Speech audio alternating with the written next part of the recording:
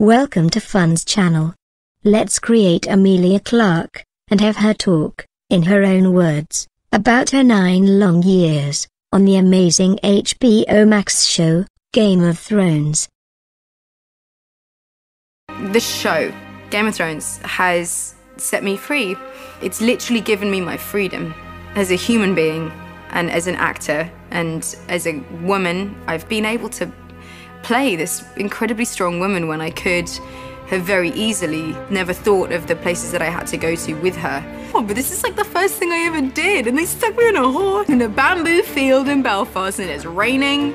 I was falling off the horse trying to act still, and I remember just being hanging on for dear. I mean, literally, I'm like hanging on like this, and I'm hanging on for dear life, and I just remember shouting, "Please stop filming!" Turn around, and I'm like, "Oh my god, there's like the whole crew," and I just cried. So that was my first day on Game of Thrones. That was it. That was. Hey, mom, I had a really good day. I had more spine tingly goosebump, joyful, punch the air, yay days on this show than anything in my life. Thing about Dany, every season she gets better. Every season there's something else bigger than the last season and better than the last season. It was the first time that I, Emilia, got to be, you know, like, bitch and badass.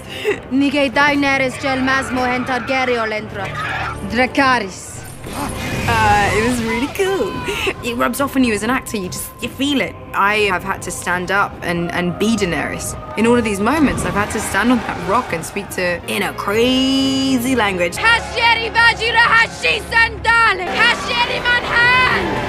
Ano gaga. But you just have to, like, you just have to grow a pair and do it. Leaving this show is leaving a part of me. The people are just gonna take Peter. Gonna take Natalie, Can I take them all. How can I rule seven kingdoms?